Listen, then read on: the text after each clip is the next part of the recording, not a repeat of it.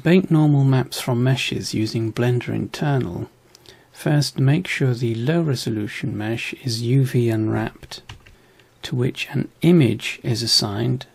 This can be done with or without a material, so directly from the UV image editor, image, new, change the properties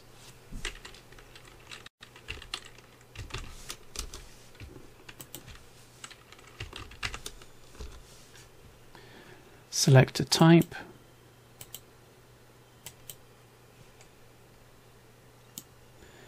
And with that assigned make sure both meshes are visible.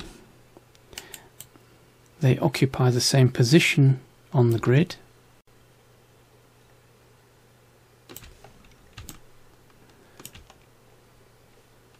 Select the high resolution first then the low resolution, and from render properties, bake, select normals if it's not already set, tangent if that's not already set, selected to active, and change either the distance or bias or both depending on the size of the mesh.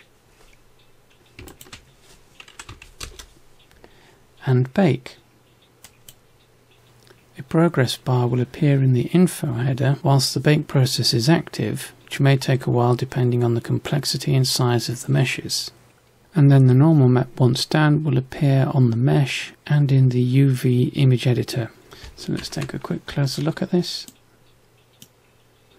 And there is the normal map, which can now be saved, save as an image or as a copy.